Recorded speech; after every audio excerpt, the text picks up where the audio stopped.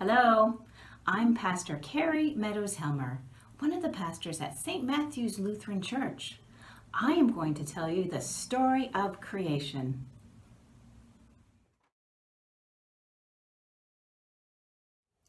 In the beginning, God created the heavens and the earth. On the first day, darkness and light became friends, and though different, were inseparable. Some were taught to fear the night, but this was not God's intent. Both were cherished and needed. God called the light day, and the darkness he called night. God saw that it was good, and there was evening, and there was morning, day one.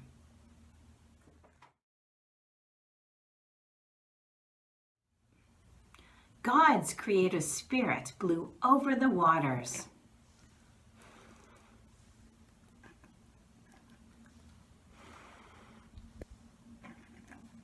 Inspiring awe and majesty. A whole week of making the world come to life, filling every corner with majestic matter to grace all with the love God has for the world. A dome was placed in the midst of the waters and called the sky, the heavens, to make space for the waters above and the waters below both waters essential to God's unfolding plan. And God saw that it was good. There was evening and there was morning, day two.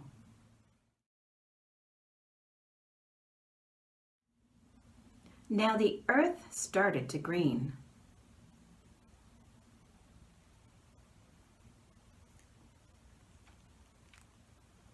Life sprouted from seeds.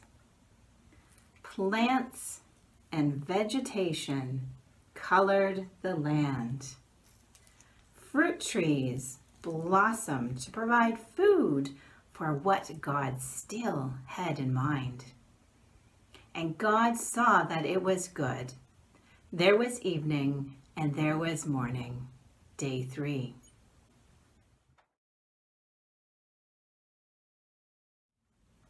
In the sky, God made two great lights and the stars to give light to the earth.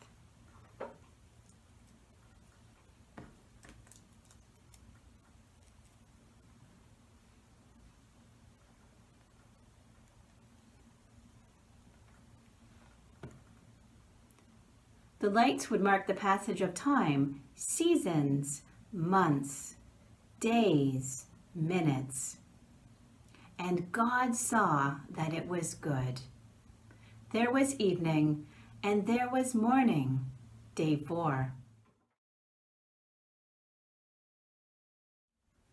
Now in the waters, God brought forth living creatures of every kind, fish and whales, octopus, sharks, hammerhead and the great white, manta rays, and dolphins.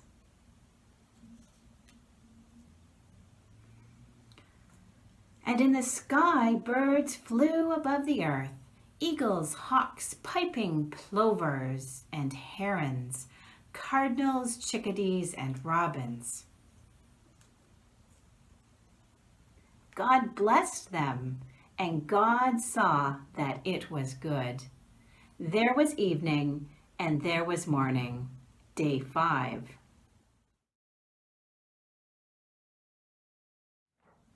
God said, Let there be living creatures of every kind.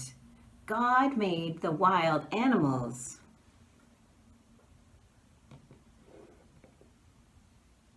The zebras, the lions, the moose, the elephants, the wolves, the hopping hares, the horses and the elk. God made the cattle. Moo.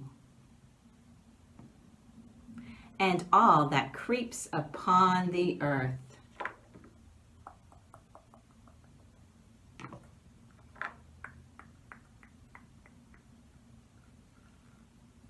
reptiles and bugs, good for soil and plants. God saw that it was good. Then God said, Let us create humankind in our image. All of creation is a gift. You'll be stewards of all that has been made. You will find life in what has been created the fish of the sea, the birds of the air, the wild animals, the cattle, and even all that creeps upon the earth. So God created humankind in God's image. In the image of God, we are created. God blessed us and said to us, Go and be nurturers of life. All of the plants and trees and creatures, everything that has breath is in your care. Use it wisely, and this good creation will nourish and sustain you. And it was so. God saw everything that had been created, and indeed it was very good. And there was evening, and there was morning, day six.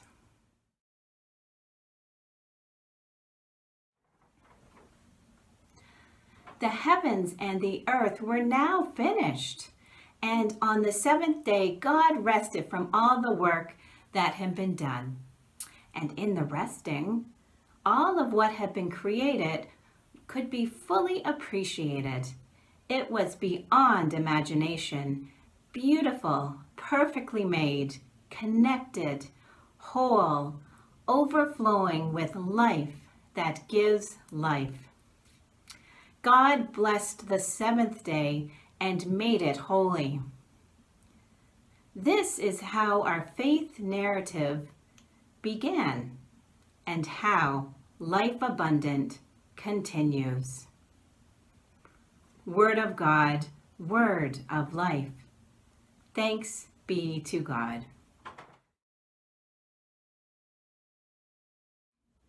The story of creation reminds us that God's good creation is filled with diversity.